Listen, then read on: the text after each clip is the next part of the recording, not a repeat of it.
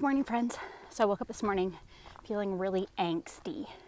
Like, I don't know if that's a word, but I feel like you know what I mean if you have nursed a newborn baby or gotten up with your kids in the night or been a 14 year old girl or you're raising a 14 year old girl or teenagers.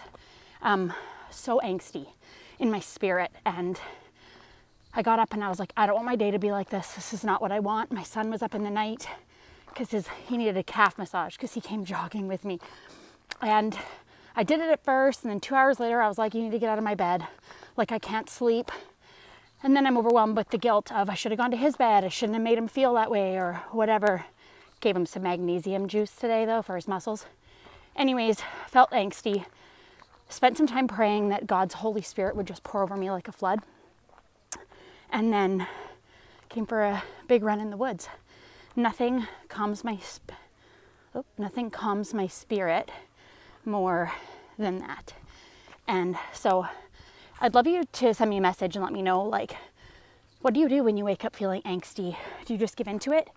Do you have certain things that you do that ground you or bring you back to a feeling of joy or peace? And sometimes maybe you just sit in it, but there's a Bible verse that says, Cast all your cares upon the Lord because He cares for you. And I believe it full out. And I do. I feel so much less angsty and ready to spend the day with my family and go to the beach and experience joy. So I don't know what's blocking you today or if you feel like crap, but I hope you have something that grounds you.